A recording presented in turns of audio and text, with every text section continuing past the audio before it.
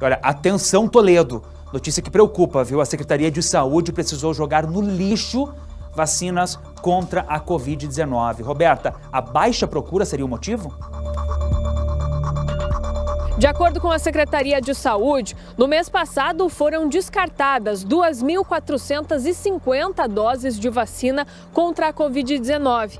Também há informação de que 750 doses estão para vencer no final deste mês.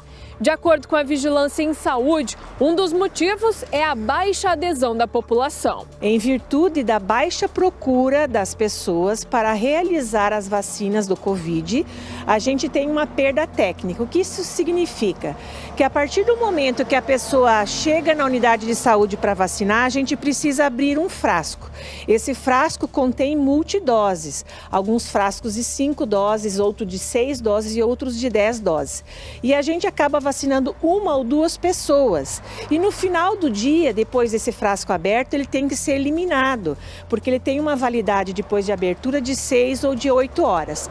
Então, esta é a perda técnica. E no mês de julho, Toledo teve uma perda de 2.450 doses é, por perda de, de frasco aberto no final do dia.